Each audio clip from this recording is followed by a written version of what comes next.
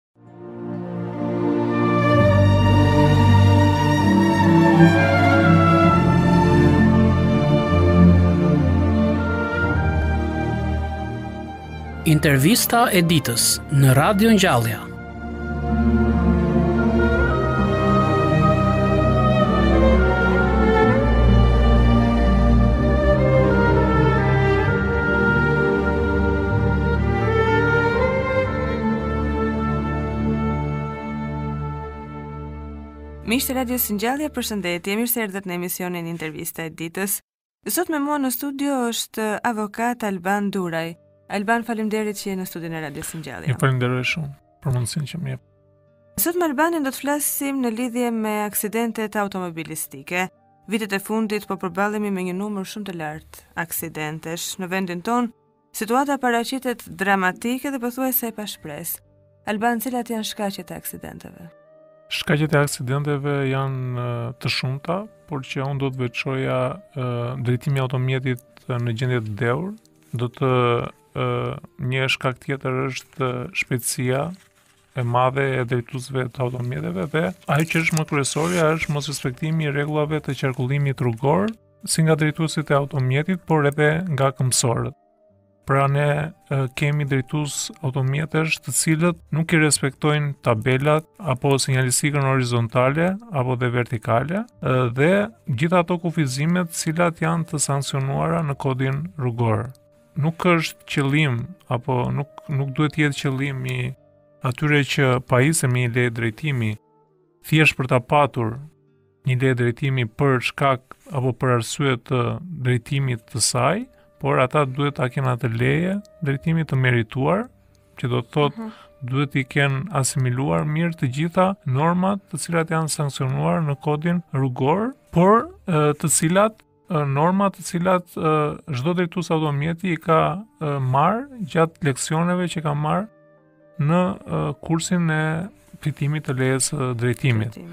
Pra, ajo çka unë konstatoj është që shkon në moshën 18 vjeç dhe të gjithë të rinjtë duan e duan patentën thjesht për të për të drejtuar makinën, nuk e kanë qëllim që t'i mësojnë me të vërtetë këto norma dhe t'i mishërojnë në mënyrë që mos gjendemi pranë këtyre rasteve të cilat janë të shumta, janë dramatike, sepse nuk është vetëm shkaktimi i dëmit për palën e cila dëmtohet, e cila mund të ketë marrë një plagosje të lehtë të rëndë apo ka humbur jetën, por ë një dëm të madh është edhe për drejtuesin e automjeteve, të cilët i ngelen këto trauma në mënyrë të vazhdueshme gjatë gjithë jetës, pra e ndjek kjo e keqe. Mhm. Alban, flasim gjithmonë për drejtues mjetesh, të cilët shkelin rregullat e qarkullimit, po për këmbësorët.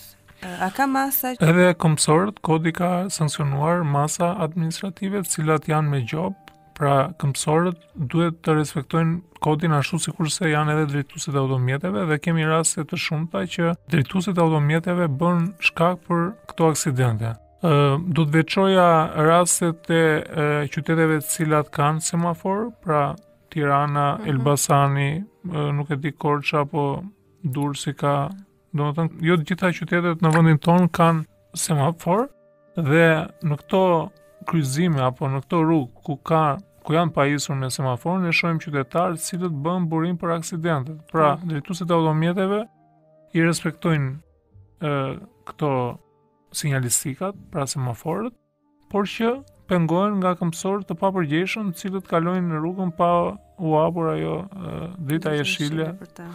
Për ta.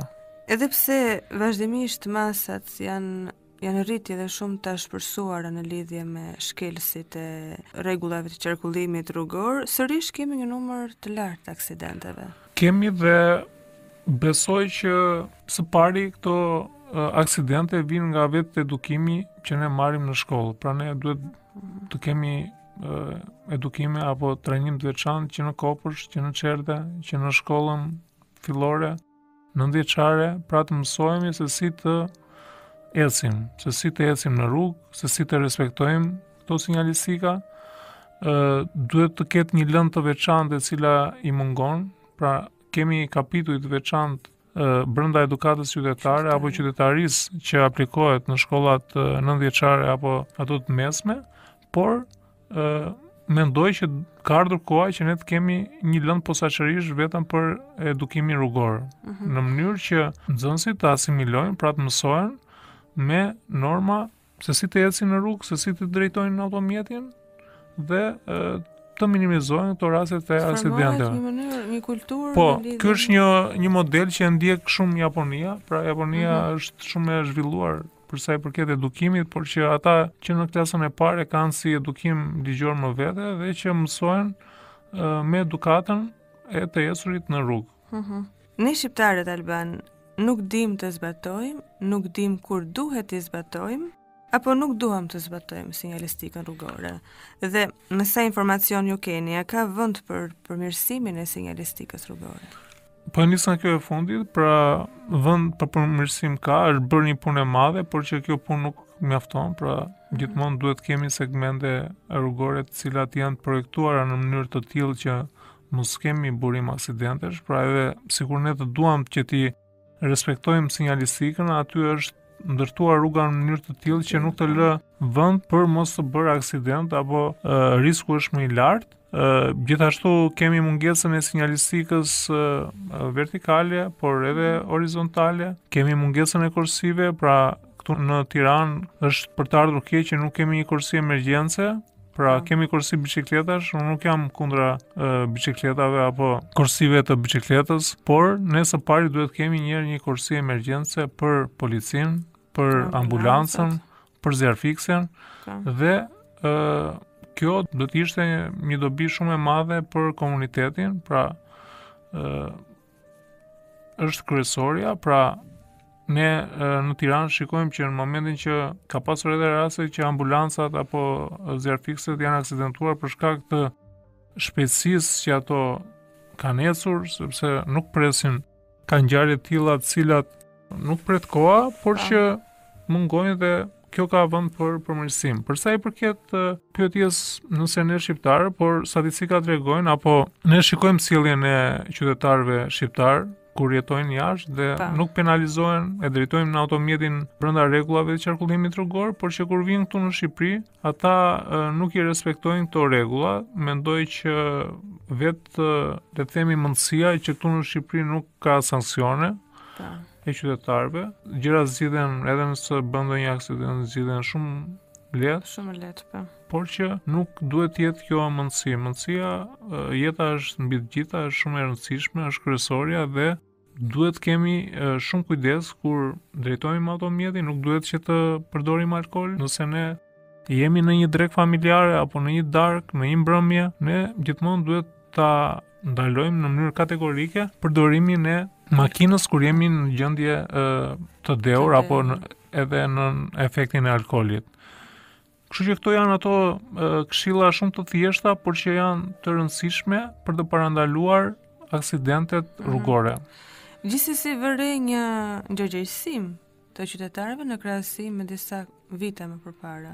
Faktikisht ky ndërgjegjësim ka ardhur ç'është e vërteta me kalimin e kohës, por që prap ka nevojë për për punë, ka nevojë për punë, ka nevojë për le të themi përqendrim, pra ne kur jemi duke drejtuar automjetin ne nuk duhet të përdorim telefonin, që i cili është bër është burim aksidenti edhe përdorimi i telefonit. Nuk duhet të komunikojmë në telefon, duhet të respektojmë rregullat e, e qarkullimit, por që unë mendoj nuk për një vend të vogël sa ne, sa Shqipëria, ky numër i madh i aksidenteve çdo vit është i madh. Por mendoj që edhe ashpërsimi i sanksioneve penale ka dhënë efektin e vet lidhur me ndërgjegjësimin e qytetarëve apo edhe masa të tjera administrative të cilat kanë të bëjnë me heqjen e lejes së drejtimit kanë bërë që qytetarët të jenë më të ekuilibruar dhe të jenë më të matur në drejtimin e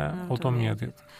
Uh, Alban, çfarë thotë ligji për shkeljen e rregullave të qarkullimit rrugor? Atëherë, ne së pari kemi kodin rrugor, i cili është ligji, uh, i cili rregullon, uh, le të themi, këtë institut të së drejtës, uh, aty janë të përcaktuara normat juridike, lidhur me sinjalistikën, shkeljen e tyre, masën administrative, gjobat Pra, aty janë të sanksionuara të gjitha penalitetet që një drejtues automjeti apo edhe një qytetar shkel gjatë përdorimit të rrugës apo gjatë drejtimit të automjetit.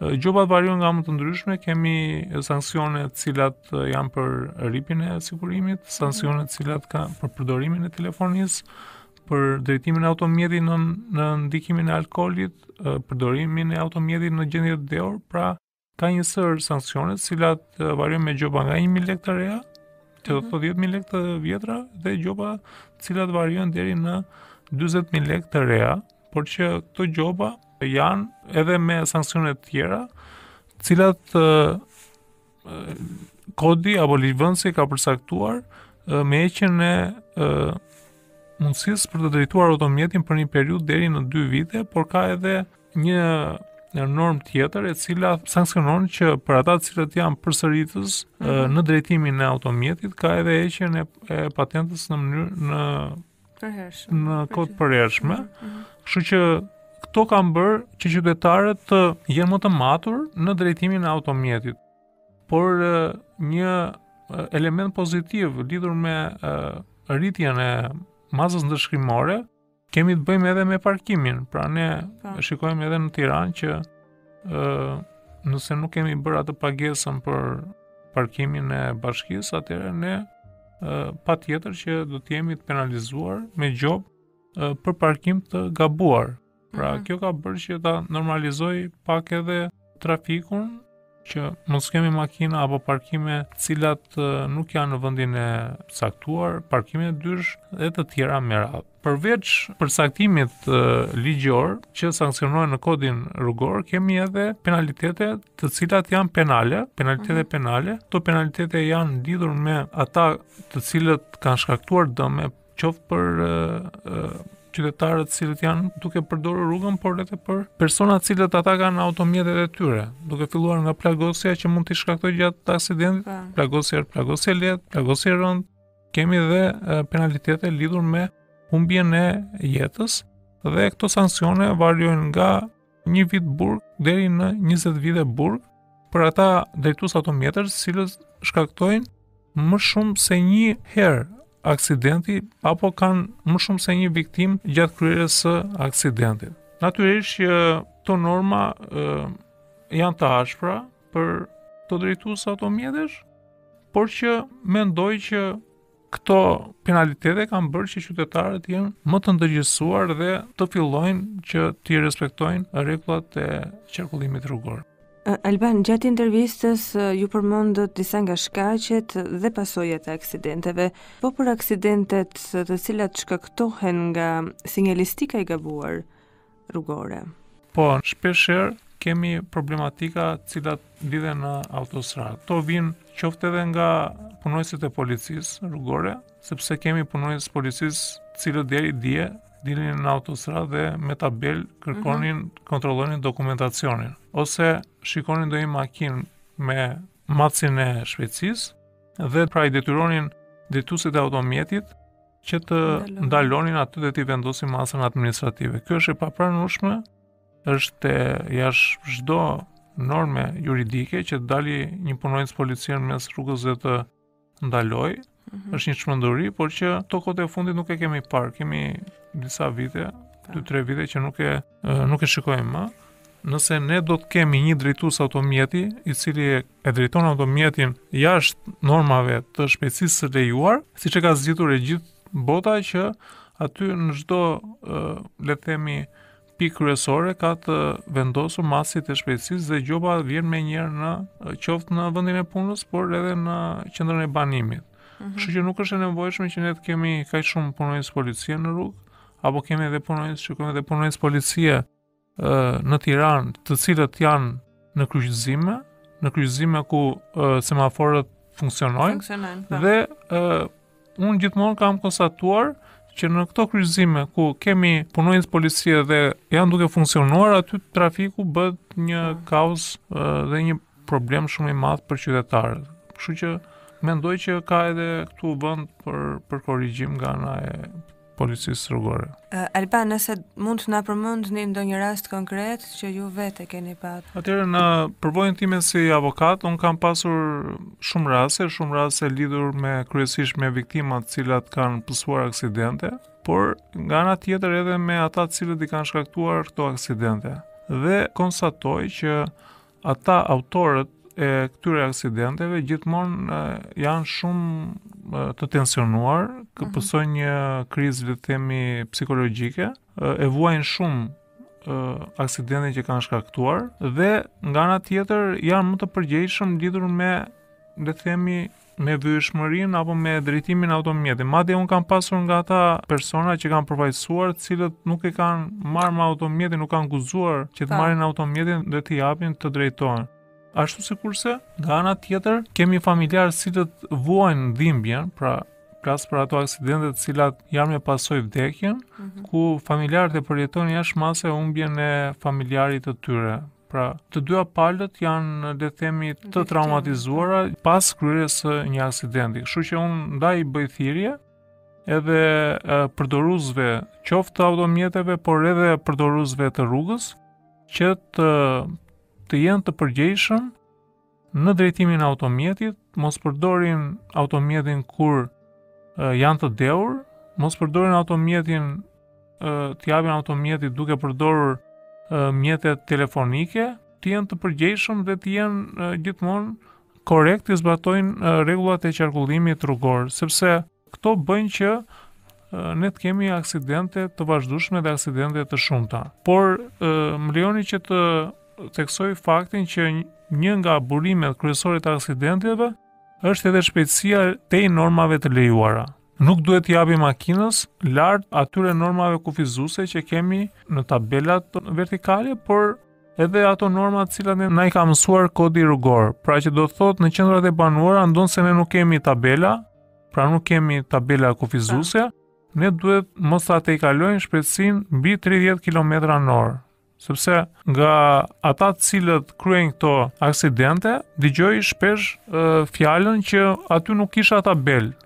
Normalisht ju mund mos keni tabelë, por kodi rrugor thotë që në qendrat e banuara ku ka shkolla, ku ka e, institucione shëndetësore apo institucione shtetërore, ne duhet ta ulim shpejtësinë dhe nuk duhet ta tejkalojmë sipër normës 30 km/h. Pra, mhm. duhet të jemi gjithmonë të përgjegjshëm, sepse shpejtësia është shumë e rëndësishme gjatë kryerjes së aksidentit. Nëse ne do të jemi me shpejtësi të ulët apo me shpejtësi të cilën na bën të mundur për kontrollimin e automjetit, atëherë aksidentet edhe nëse do të shkaktohen për fajin e palës tjetër apo për fajin tonë, jemi futur në një rrugë të gabuar apo në një sens gabuar, por nuk kemi qenë shpejt, ne kemi në dorë automjetin dhe kemi mundësi për ta kontrolluar atë. për ta shmangur aksidentin apo ky aksident mund të jetë me pasoja të lehta të cilat janë të rikuperueshme për viktimën. Mm -hmm. Kjo është thirrje.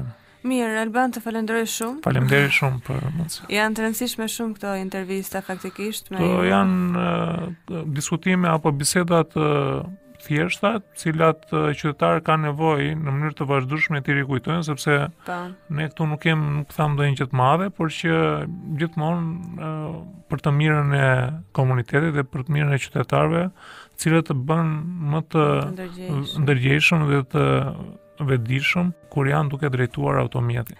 Miq të Radios Ngjallja ka qenë kjo intervista e përgatitur për ditën e sotme, bashkë do të dëgjohemi sërish në tema të tjera me avokatin Alban Duraj.